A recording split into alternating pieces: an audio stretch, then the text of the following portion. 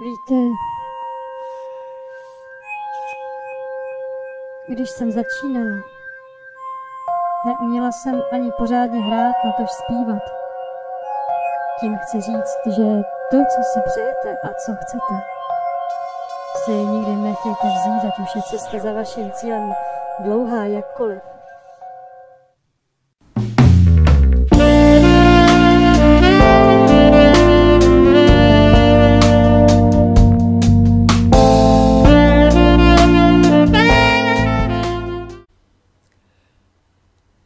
Tady je Rajníš, já vás vítám u Coffee Breaku. No a mám tady už uh, připravenou velmi silnou kávu. Taky tady jenom takhle ještě chvilinku zamíchám. Nechám ji odstát a podíváme se, co nám uh, bude chtít káva vyjevit. Respektive kávová sedlina. Hmm. Tak jo.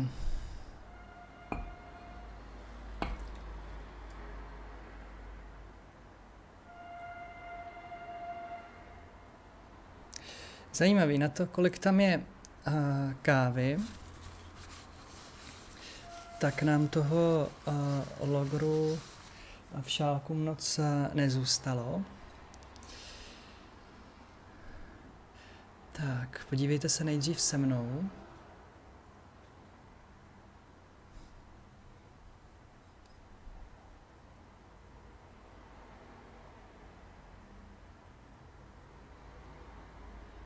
Co všechno vás napadne, když uh, vidíte to, co já. Tak a já se už na to naladím. No, musím říct, že uh, to, co chytlo moji pozornost jako první, je tady to srdce, které uh, není vidět celé. Je to srdce, které se vynořuje a blíží se k nám jednou stranou a zdá se, že mm, to srdce my neuvidíme přímo, tady neuvidíme přímo člověka, který k nám přichází a který má k nám vlastně otevřené srdce. My ho vidíme víceméně trochu z boku a mě to říká, že mm, ani ten člověk sám si neuvědomuje, že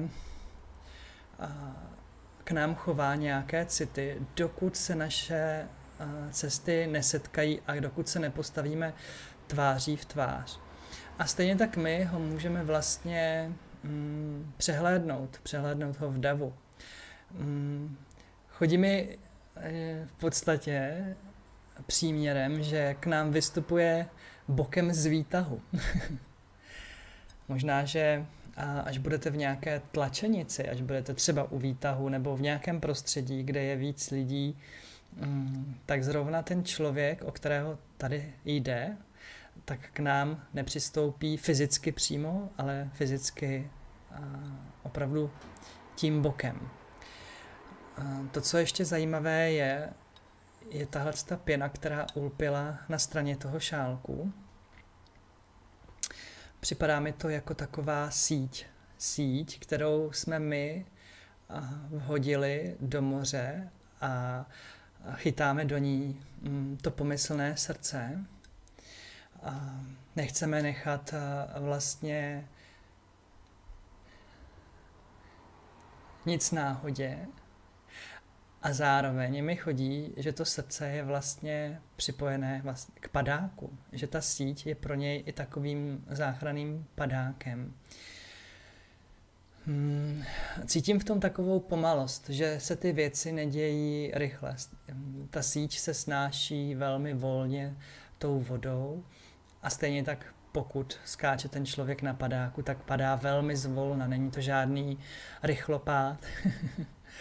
Takže ve věcech lásky můžeme očekávat uh, slibný vývoj, ale pomalý, přirozený, takový velmi jemný. Není to nic, uh, co by přivrátilo náš život honem uh, rychle na ruby.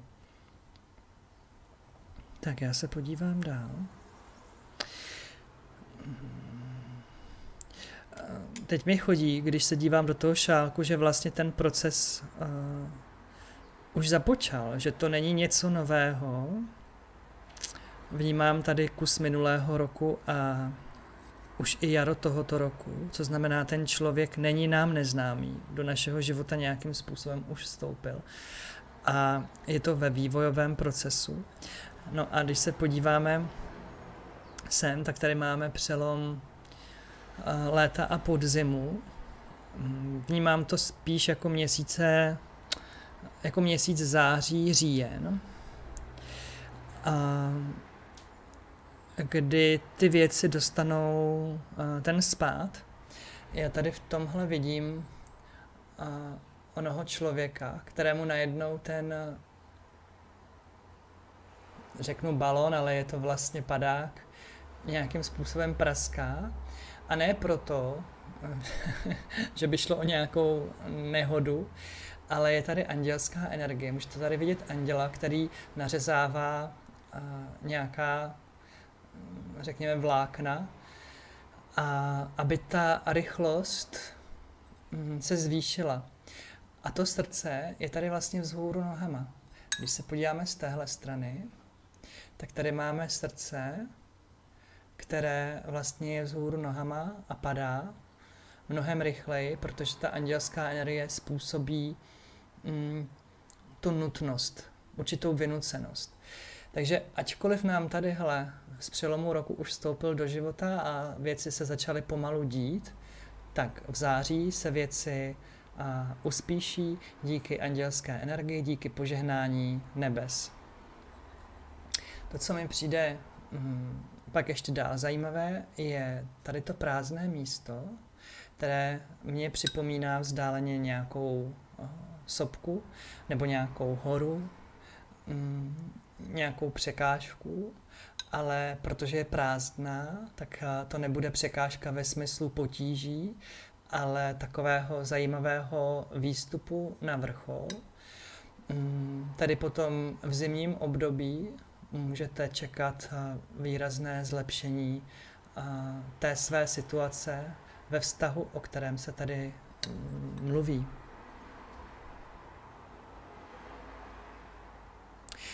Zajímavé je, že tady na dně ještě vidím, asi to nebudete vidět vy, že to je velmi malý motiv sedícího Racka, který má zvednutá křídla přes svou hlavu, aby na něj nepršelo.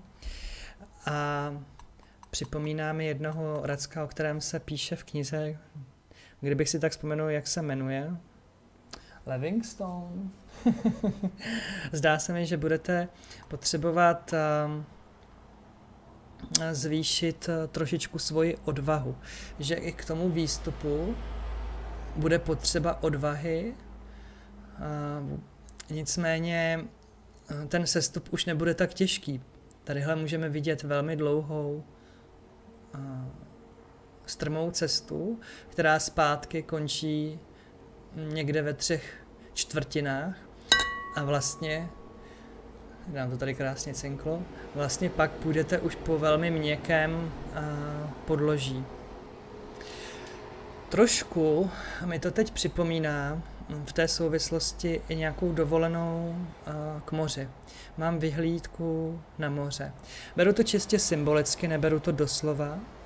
Mm, vidím tady uh, písčitou pláž a vlny, které přiráží vlastně k té pláži. Vnímám to jako očistu a také tu vnímám jako dary moře, které se vyplouvají na tady tu písčito kamínčitou pláž. No a z té pláže se pak už odvíjí velmi dlouhá, klikatá cesta ale všechno je to krásně zamlžené takovým romantickým závojem. Není tady v tom skrytá dramatičnost, spíš se tady ukazuje na dlouhou a společnou cestu. Tak já si budu přát, aby ten vztah, o kterém se tady hovořilo, ve vašem životě zaujal důležité místo, ať už se jedná o vztah přátelský, milenecký nebo možná i manželský. Mějte se krásně a budu se těšit příště. Ahoj. Ahoj, tady je Račníš. Já bych chtěl velmi rád poděkovat všem svým trvalým patronům, kteří podporují tento YouTube kanál. Díky moc, moc si toho vážím. Jsem vděčný nejenom za sebe, ale i za ostatní, kteří tento YouTube kanál odevírají, protože díky vám, patroni, tento YouTube kanál může lépe plynout, snáze se mi tvoří a vaše pomoc je nedocenitelná. Takže mnohokrát děkuju